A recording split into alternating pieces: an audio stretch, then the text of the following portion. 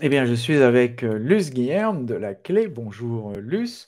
Nous allons parler euh, à nouveau de l'apprentissage de la lecture pour les personnes allophones, donc les personnes qui viennent de l'étranger.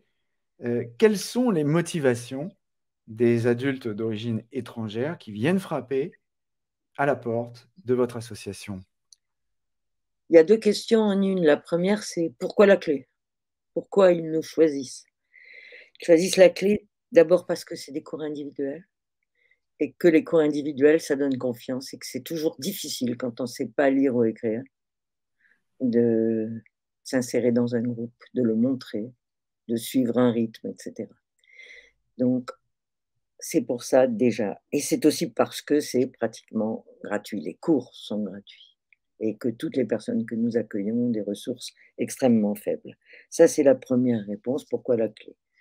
La deuxième, c'est leurs objectifs. Leurs objectifs, c'est que tous veulent apprendre le français, le parler, lire, l'écrire, c'est entendu. Mais ils ont bien entendu des projets euh, à moyen terme derrière. Hein. Quel but donne-t-il à cette formation? Alors c'est très très varié.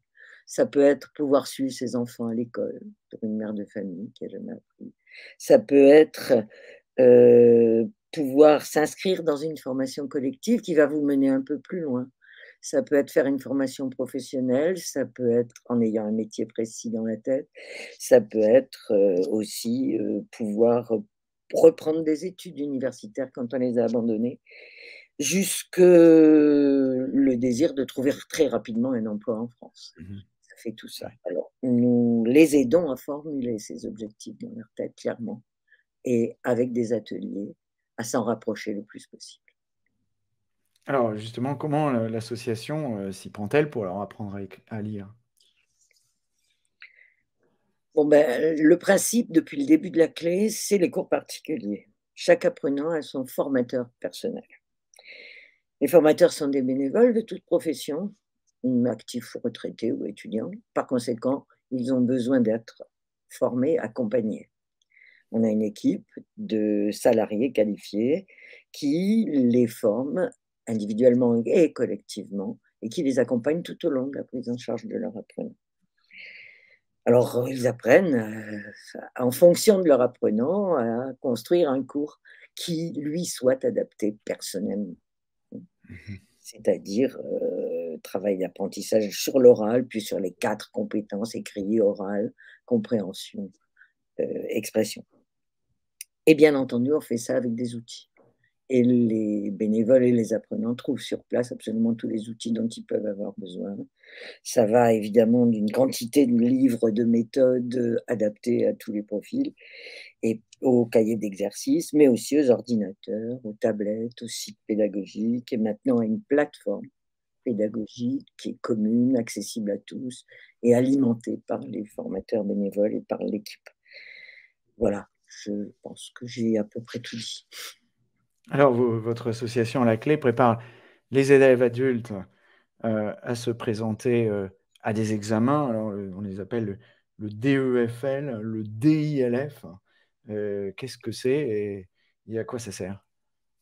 Le DILF, diplôme initial de langue française, et le DELF, diplôme élémentaire de langue française, qui a plusieurs niveaux et la préparation à la clé, euh, c'est le DELF A1 et A2, c'est-à-dire les deux premiers niveaux du DELF. Bon, ces deux diplômes sont préparés en plus des cours particuliers et proposés à des apprenants qui sont prêts à les passer. Euh, c'est des classes de deux fois trois heures et de 12 élèves au maximum pour chacun des diplômes. C'est un parcours exigeant. Les gens qui passent le DILF n'ont jamais passé un diplôme de leur vie.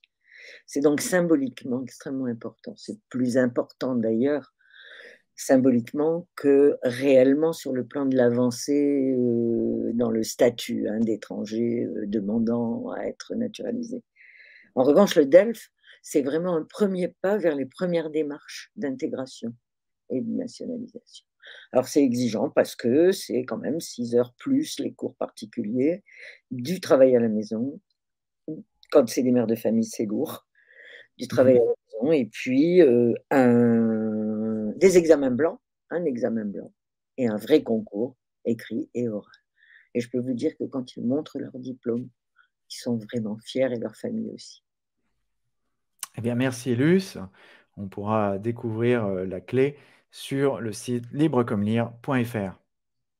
Merci beaucoup Yann.